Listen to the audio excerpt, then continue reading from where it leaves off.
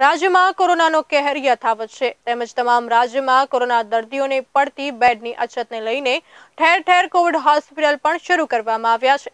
ત્યારે વડોદરા જિલ્લાના સાવલી ખાતે કોરોના સંક્રમણ વધતા સરકારી દવાખાનામાં કોવિડ હોસ્પિટલ શરૂ કરવામાં આવી છે.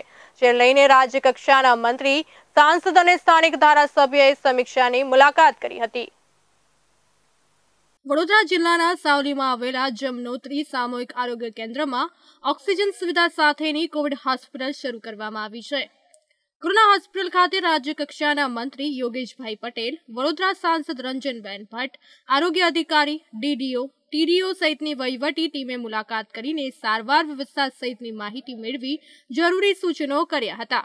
અને રાજ્ય સરકારના કોરોના મહામારીના સમયે અપનાવાયેલ અભિગમ કોરોના મુક્ત ગામ અભિયાન અંતર્ગત રાજ્યના તમામ મંત્રીઓને ગ્રામ્ય વિસ્તારની સરકારી કોવિડ હોસ્પિટલમાં જઈને વ્યવસ્થા નિરીક્ષણ કરીને કોવિડ સંક્રમિત દર્દીઓની સારવાર સારી બને તે કરવાના આશ્રયથી સાવલીની સરકારી કોવિડ હોસ્પિટલની મુલાકાત કરી અઢાર વર્ષના ઉપરના તમામને કોરોના સામે રક્ષણ આપતી રસીના અભિયાન પર ભાર આપતા રસીકરણ કેન્દ્રની પણ મુલાકાત કરી હતી.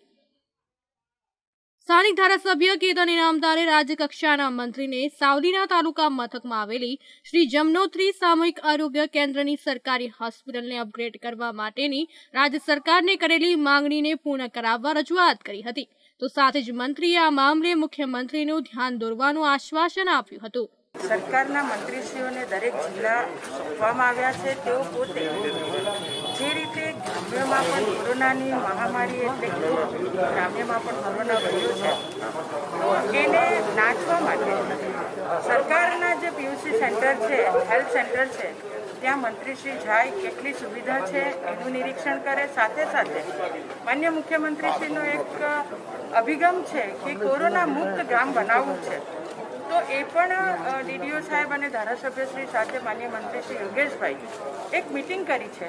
અને અમારા અહીંયાના ચૂંટાયેલા પ્રતિનિધિ કે આવો આપણે બધા જ ભેગા થઈને જ્યાં રસીકરણ અભિયાન કરવાનું છે, ત્યાં ગામના લોકોને રસી મુકાવીએ. ગંગોત્રી આરોગ્ય કેન્દ્ર, સાવલી. આજે અમારા ધારાસભ્ય તેમજ અમારા સાંસદ મુલાકાત રાજ્ય સરકારના